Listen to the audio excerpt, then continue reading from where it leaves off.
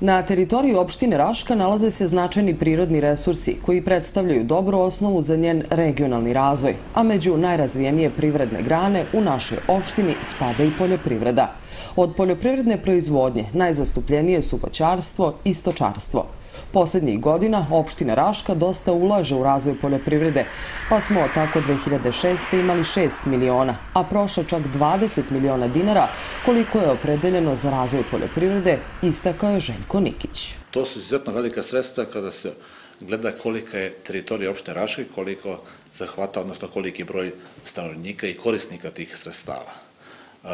Iz godine u godine rasti interesovanje poljoprivrednih proizvođača za ta sredstva, tako da smo prije tri godine imali negde oko 200 nešto zainteresovanih gazdinstva, da bi prošle godine imali 560 zainteresovanih, odnosno 560 onih koji smo dodelili sredstva. Ti 20 miliona su usmrene na različite sektore, počet od sektora većarstva, mlekarstva, znači biljne proizvodnje, pčelarstva i drugih sektora i mislim da su naši ljudi izuzetno zadovoljni. Ono što je karakteristično da se 60% od sredstava koje oni ulože njima vraća. To se misli na odnos 60% bez PDV-a, tako da je neki gornji limit bio 100.000 dinara, što je sasvim dovoljno za neki početak, za neka osnovna ulaganja, ili za neka veća ulaganja tu je država koja daje mnogo više, a sad imamo IPART fondove koje daju znatno, znatno više i tu je mali broj naših ovde surađenja koji mogu da konkurišu za takva sredstva. Trudimo se da razvijamo voćarstvo, kaže Nikić, gde poslednjih godina postižemo impozantne rezultate.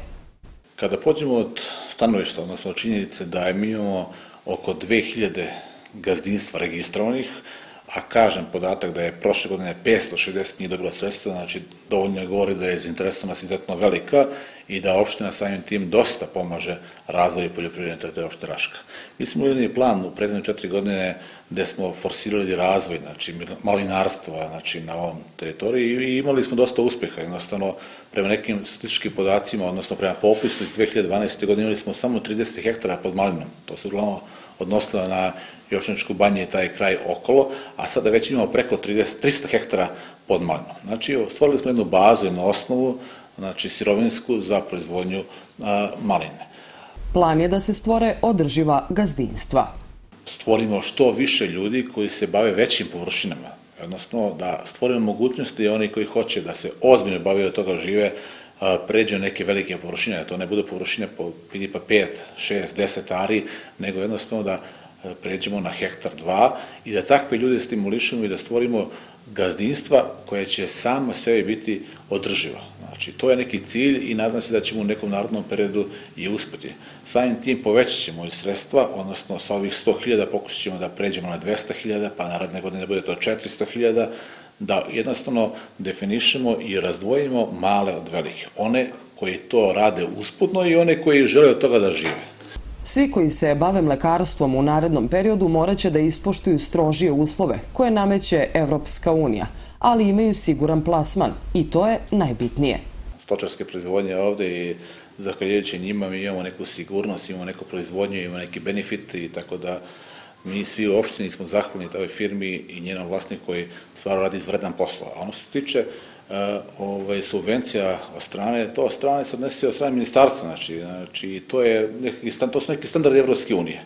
Jednostavno ne, radi se o količini mlečne masti, kako je dosta bilo, već i o prisutu somarskih ćelija, znači neki standardi Evropske unije datiraju da ako imate preko 200.000 somarskih ćelija, znači padaju te subvencije, odnosno smanjen je parametar, te, taj parametar koji e, ovaj, dovodi do toga da imate maksimalne subvencija, pa su ti parametri od 0 do 200.000, pa 200 do 400, pa preko 400 se smanjuje, znači to će neki biti osnov e, koji je propisala Evropska unija i mi hteli hteli mora da se pridržavamo tome. Ako smo krenuli u pravcu Evropske unije, mora da prihvatimo njihove parametre, njihove standarde, i jednostavno imamo neki period do ulazka u Europsku uniju da to sve prilagodimo i shodno tome da se ponašamo.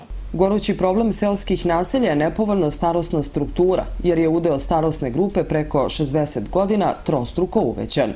Najveći problem u svim manjim mestima naše opštine je migracija stanovništva i po tom pitanju izdvojeno su značajna sredstva.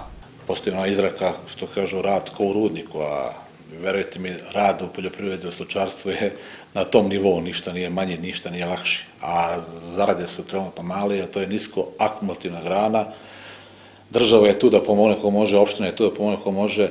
Nadam se da ćemo u nekom narodnom periodu u zajedničkim tim ovaj, akcijama uspeti da poboljšamo uslove i da omogućimo da naš seljak bude i dalje nosilac proizvodnje, nosilac razvoja čitave opštine, čitavog društva. Spremili smo iznos od 20 miliona za razvoj poljoprivrede, da će se sredstva krenuti da se dele negde početkom aprila godine, aprila meseca, kao što je bilo i to i prethodnih e, godina.